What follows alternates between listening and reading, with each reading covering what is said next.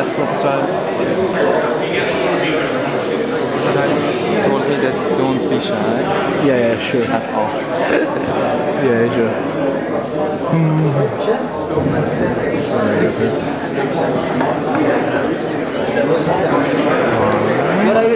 I didn't have the tools.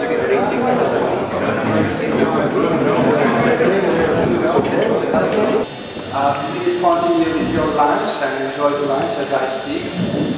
I very welcome you to the 20th anniversary celebration lunch for the uh, University Engineering course. This is for 700 telecommunications engineering. And for those of you uh, we have just met today, once again, uh, my name is Halim Yanikomeroğlu. I am the current coordinator of, of this course. Um, this was my fourth year. Uh, many people here may not have met each other before. Uh, we have people from industry, uh, from Nortel, Mitel, Microsoft, um, Alcatel Lucent, Television Networks, Huawei, uh, Arab, and probably others I, uh, I might have forgot. And we have uh, quite many people from government, from uh, CRTC, Canadian Radio, Television, and Telecommunications Commission. It's quite a mouthful. from Industry Canada, from Communications Research Center of Canada, uh, even we have uh, people from uh, Correctional Services Canada. Um, we also we also have uh, some uh, students or former students who took this course, well as uh, uh, many people from Carleton community. And I would like to uh, quickly um, introduce Carleton faculty and staff. Our president, Professor Roseann Runte is here, and also Vice Chancellor. Professor Rafik Goubran is the Dean of the Faculty of Engineering and Design. The former Dean, um, Professor Sami Mahmoud, is out of country, and the Dean before who actually had this, uh, setting up this course, uh, Malcolm Bibby, lives in Calgary. He's sending his uh, greetings uh, today. Um, then we have the, uh, the chair of the Department of Systems and Computer Engineering, Professor Vic Vic The incoming chair of the department, Professor uh, Howard Schwartz, will take office in few weeks. Uh, uh, there is Professor David Falconer, uh, who has taught this course for 10 years. Of course, many of you know him. also, uh, Professor David Cole and Professor Ian Marsden, who have been involved with this course uh, before. They Cole this here, and I'm looking for Ian. Ian is over there. Yes. Many of you have also uh, came contact with administrators from the Systems and Computer Engineering as well as from the Office of the Dean. Darlene Aber here and Jennifer Paul here. And also from the Dean's Office, um, Cheryl Oakley and, and uh, Wanda Graft are with us. Uh, thank you very much. And our guests, I hope you will find the opportunity uh, during and after the lunch to talk to each other and make new friends. Now, you might be wondering, well, is this the only course at Carleton which is 20 years old? That must be many courses.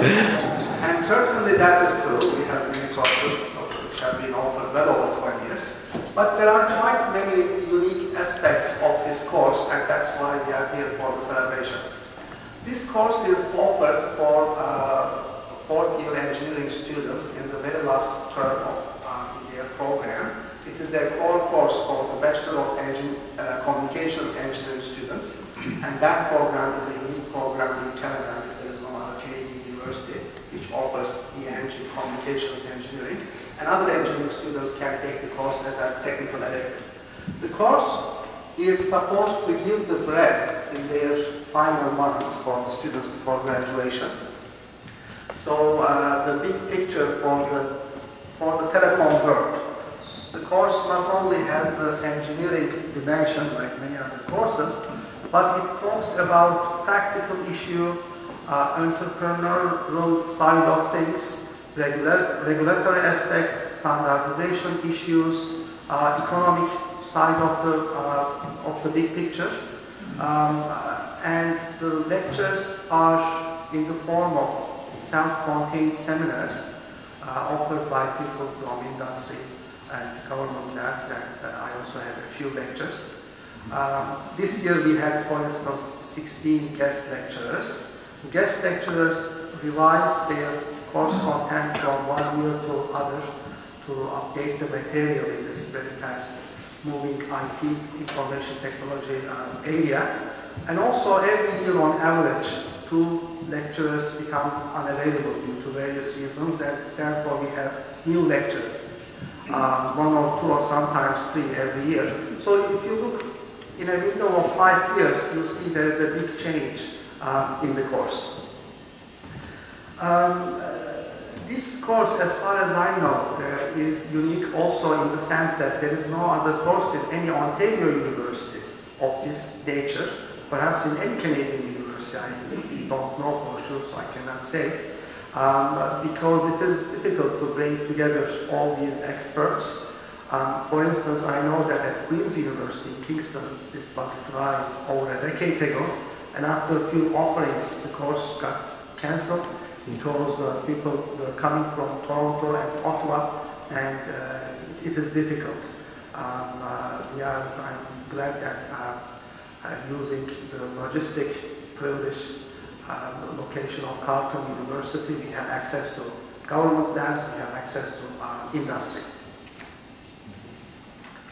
Um, the course also involves some very interesting projects that students, I believe, highly appreciate.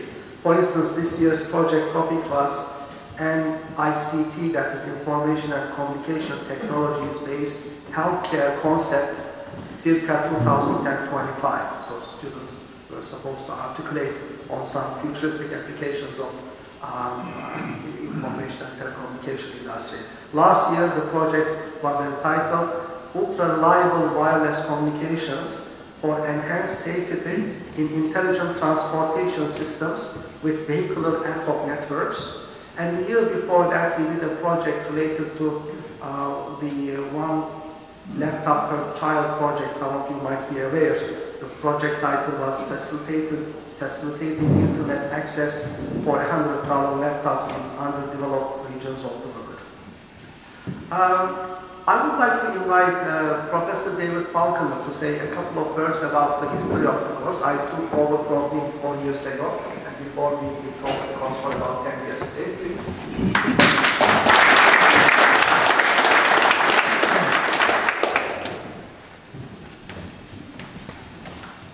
Thank you, uh, Alim, and uh, welcome uh, all. It's a real uh, pleasure uh, for me to be here and an honor.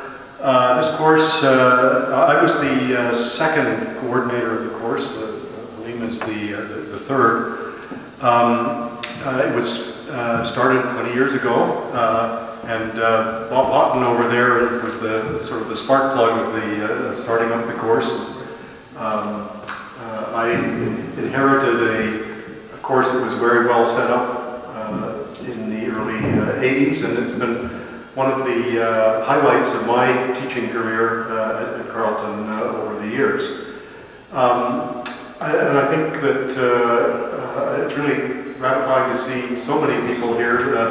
most of you I know, some of you I don't. I think some, some, some recent lecturers that I haven't met, but um, it's, a, it's a course that, as, as Gleam said, it's a unique course. It produces a, uh, it brings a breadth of knowledge and uh, experience to uh, electrical engineering, uh, uh, computer systems and, and, communication students, far beyond what they would have received already in their more, more focused courses. And I think this is, um, to a large measure, due to many, to, to many of you, many of you who are and have been uh, lecturers have, have uh, contributed so much to the course and so much to the students' knowledge and experience that uh, um, I'm certainly grateful, and I think everyone at Carleton is certainly grateful for this, for your contributions. So um, that's what I wanted to say, and I'll turn it back to Lee. Thank you.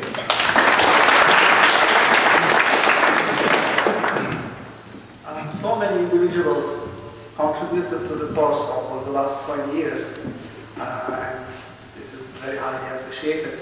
But I will, uh, or we will, acknowledge a few of those individuals today, uh, starting Bob Haughton.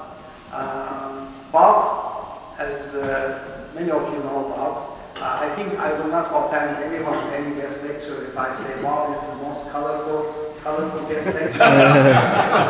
um, and students love him as well. and He makes one joke after another. Now, uh, well, I am the formal coordinator for this course in the books, but in reality, behind the scenes, the coordinator is Bob. So throughout the year, we have conversations on what to do um, in, in the following year. Um, uh, and with Bob's continuous encouragement, really the course has been a great success. For instance, as I, I guess uh, told earlier, this is a winter course offered in the January term. Bob would call me in August and ask me, is the course outline ready? and I would say, Bob, it is my course, which I will start in a few weeks in September, is not yet um, Bob has a uh, really uh, distinguished career. Um, uh, he graduated from uh, Queen's University in 1946 um, and has been involved in Bell Canada for many years founded this course. He also uh, has been involved in the educational aspect of engineering at Bell Canada and other universities as well. Um, uh, Bob wrote a three-volume textbook. I was intending to uh, bring that, but it would be really uh, heavy. we still use the book as a, as a reference in the course. Um, uh, Bob, I would like to invite you to say a couple of words about the history of the course as well, please.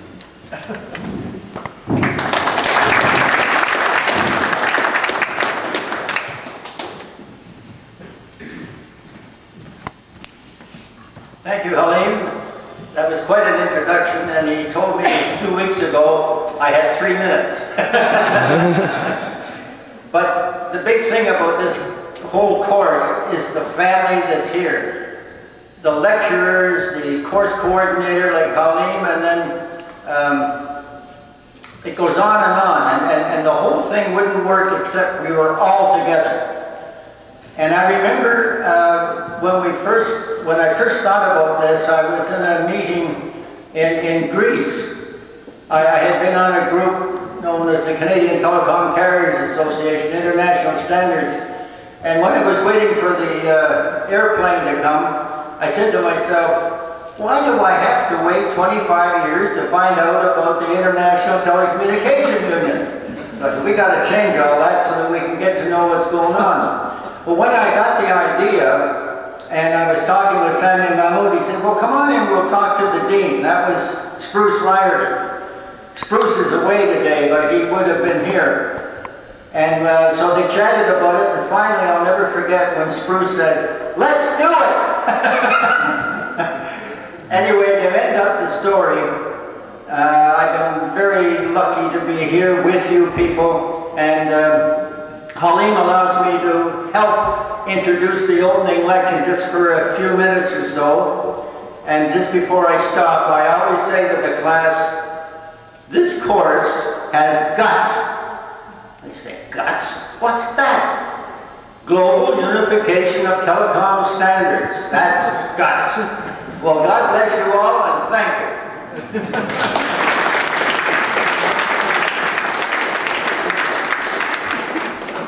Uh, I would like to invite our uh, president, uh, Runte and Dean Goubran, as well as uh, Professor Aitken to uh, present a plaque to Bob for our appreciation. Uh, please.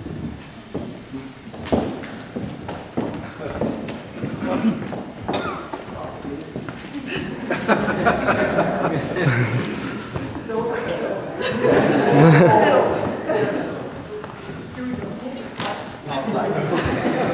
Thank you, young lady.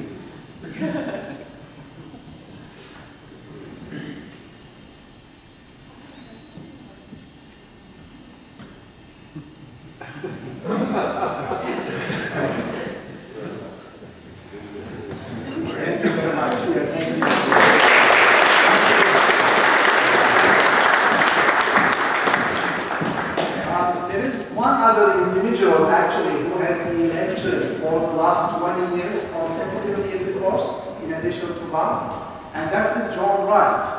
Where is John? Uh, Wright is there. John is, is also a retired bell person. He has been involved in the engineering side as well as in the management side. Uh, and he will uh, recognize his continuous um, contribution to the course. Uh, and John is multi-talented. I always tell the students, especially behave well in his class because he's background in judo. And uh, he was the uh, president of Canadian Judo Association. Uh, please, John, uh, for the plan company.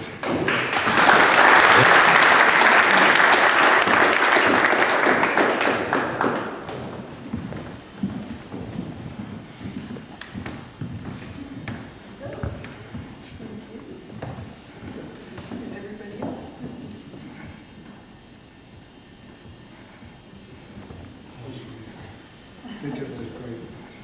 Great as good as anyone.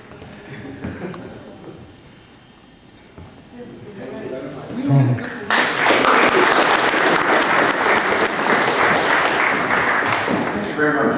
I do lectures on network evolution. I would be very grateful if you would stop evolving it so I can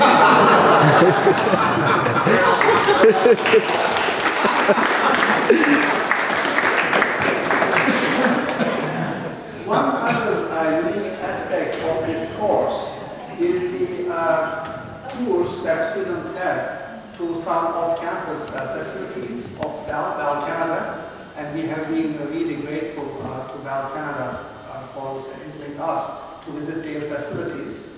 Um, uh, we visit the Global Network Management Center as well as a central office of Bell.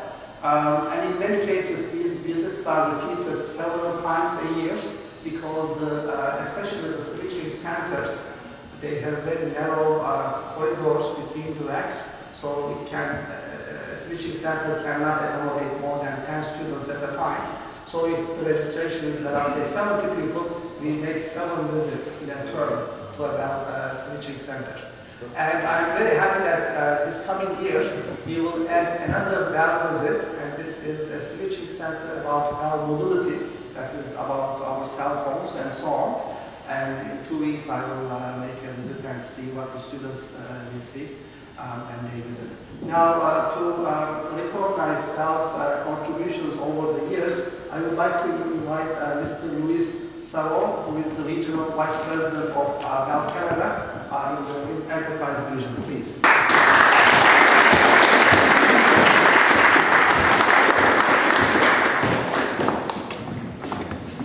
Thank you very much. Thank you very much. Thank you very much. Thank you very much. Thank you. Okay, thank you. That was awesome. Just having on. I'd like also uh, uh, thank very much to uh, uh, Sharon Lockman, who is over there, for also helping us with these visits year after year. Um, uh, we have one last uh, plaque to be given to uh, one other uh, Bell uh, staff, Henry Starzinski, who is the manager of the Global Network Management Center.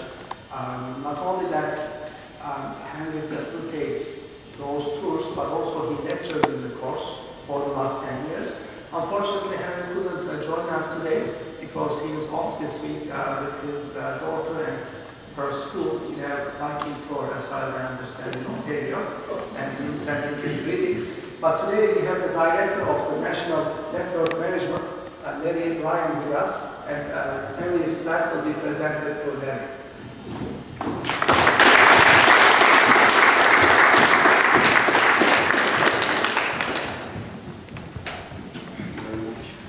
Henry. Okay,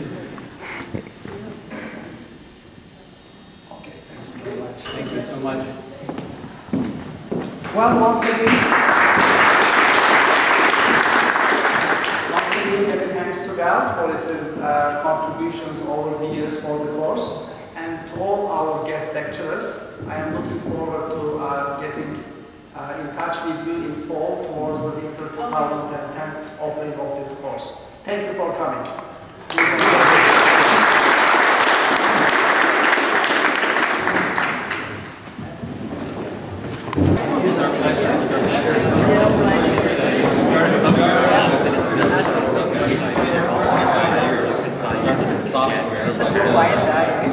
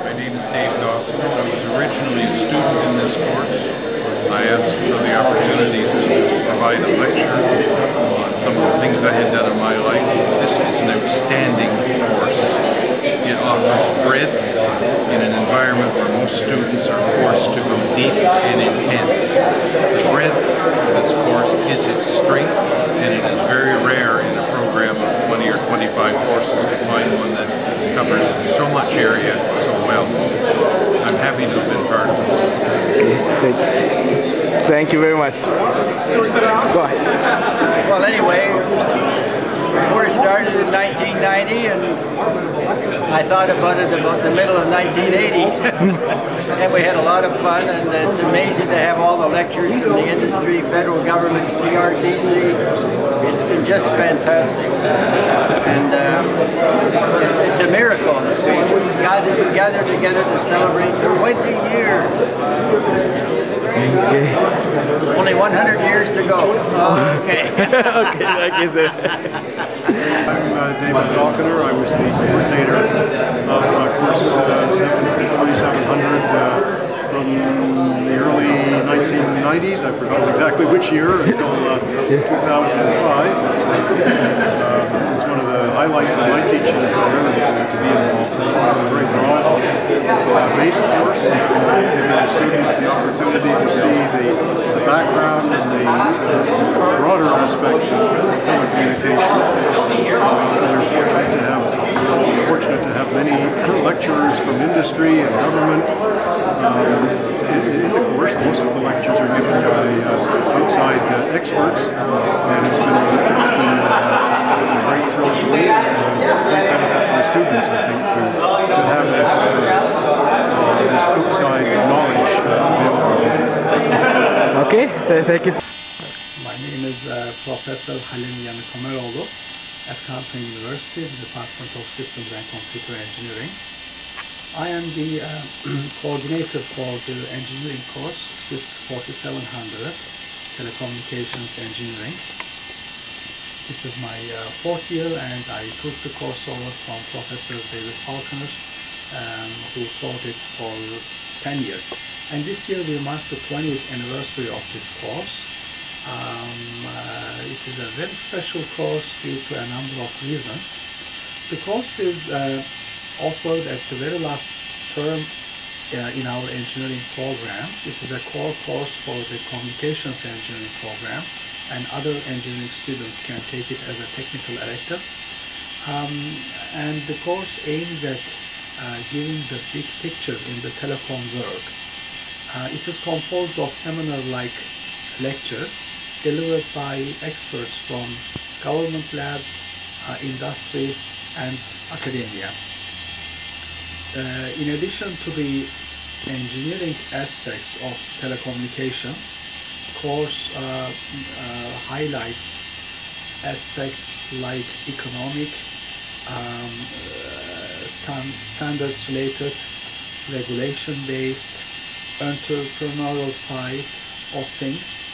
Um, they are all uh, discussed by uh, various people from uh, industry. Uh, so it is uh, unique in that sense as well. As far as I know, there is no Ontario school which has a similar course.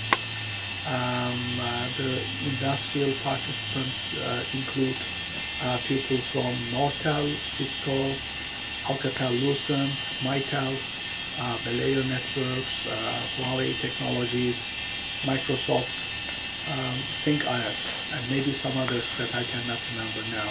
From Government Labs, Industry Canada is involved, uh, the Communications Research Center of Canada, uh, CRTC, which is uh, um, uh, Canadian Radio, Television and Telecommunications Commission, as well as uh, Correctional Services uh, Canada.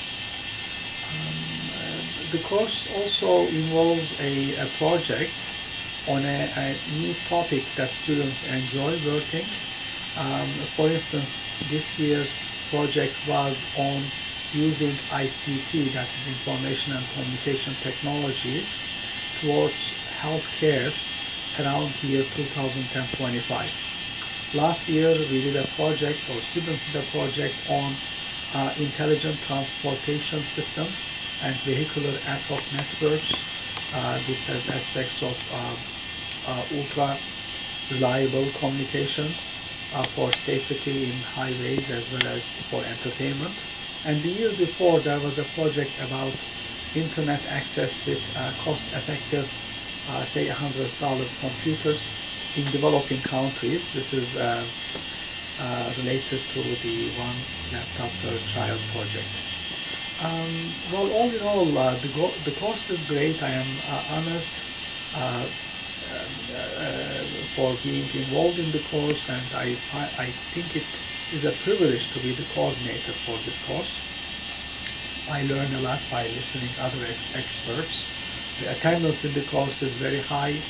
I take uh, sign out uh, or uh, sign. Uh, I, I collect signatures of students, and some students I see attend all lectures without missing even single one of them. And in most lectures, most of the students happen to be present. Um, one final remark is about the um, visits or tours we have in the course. Um, the, the course involves guided off-campus tours to some Bell facilities, facilities of Bell Canada, namely the Global Network Management Center, as well as a central office by Bell. And starting winter 2010, uh, we will have tours to Bell Mobility's central office as well. Thank you.